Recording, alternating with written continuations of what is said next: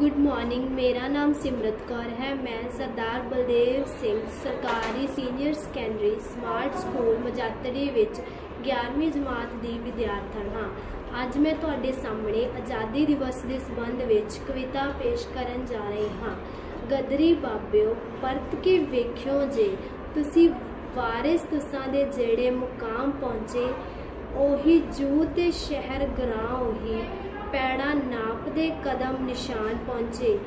ਗੂੰਜ ਗਦਰ ਦੀ ਗੂੰਜਦੀ ਰਹੀ ਜਿੱਥੋਂ ਉਹਨਾਂ ਰਾਹਾਂ ਨੂੰ ਕਰਨ ਸਲਾਮ ਪਹੁੰਚੇ। ਵਣਜੇ ਤੁਸਾਂ ਦੇ ਉਸ ਵਿਪੋਰ ਵਿੱਚੋਂ ਵੇਖਣ ਆਪਣਾ ਨਫਾ ਨੁਕਸਾਨ ਪਹੁੰਚੇ। ਪੁੱਛਣ ਤੁਸਾਂ ਆਜ਼ਾਦੀ ਦੀ ਘੋਲ ਅੰਦਰ ਸਾਹਮਣੇ ਭਾਰਤੀ ਕਥਿਆ ਕਰੇ ਕੀ ਕੂ ਸੋਹਣ ਸਿੰਘ ਤੇ ਲਾਲਾ ਹਰਦਿਆਲ ਵਰਗੇ ਹੀਰੇ ਚਾਕ ਦਾਮਨ ਅੰਦਰ ਜੜੇ ਕੀ ਕੂ ਆਇਆ ਪੜਨ ਸਰਾਪਾ ਤੇ ਬਰਕਲੇ ਸੀ। ਸ਼ਬਦ ਗਦਰ ਵਾਲੇ ਉਹਨੇ ਪੜੇ ਕੀ ਕੂ ਬਰਕਤ ਉਲਾ ਦੀ ਕਬਰ ਤੇ ਬੈਠ ਰੋਏ। ਇੱਥੇ ਸੁੱਤਿਆਂ ਬੀਤ ਗਏ ਵਰੇ ਕਿਕੂ ਕੂ ਚੜੇ ਦੇਸ਼ ਆਜ਼ਾਦੀ ਲਈ ਜੰਜ ਲੈ ਕੇ। ਸੇਰੇ ਸਿਰਾਂ ਤੇ ਕਿਸ ਤਰ੍ਹਾਂ ਧਰੇ ਇਕੱਠੇ।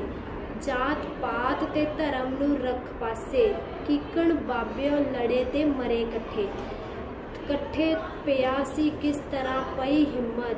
ਰੱਸੇ ਫਾਂਸੀਆਂ ਨੂੰ ਚੜ ਕੇ ਫੜੇ ਇਕੱਠੇ। ਚਸ਼ਮਦੀਦ ਗਵਾ ਇਤਿਹਾਸ ਸਾਵੇਂ। ਕਬਰੀ ਪਏ ਇਕੱਠੇ, ਸਿਵਿਆ ਸੜੇ ਇਕੱਠੇ।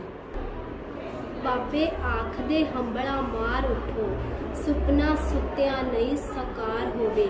ਤੁਰਦੇ ਦੇਸ਼ ਵਾਸੀ ਜਦੋਂ ਹੋ ਇਕੱਠੇ, ਨਾ ਇਹ ਕਾਰਵਾ ਫੇਰ ਖਲਿਆਰ ਹੋਵੇ।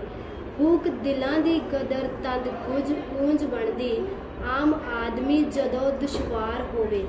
ਹੂਕ ਦਿਲਾਂ ਦੀ ਗਦਰ ਤਦ ਗੂੰਜ ਬਣਦੀ, ਆਮ ਆਦਮੀ ਜਦੋਂ ਦੁਸ਼ਵਾਰ ਹੋਵੇ। ਧੰਨਵਾਦ।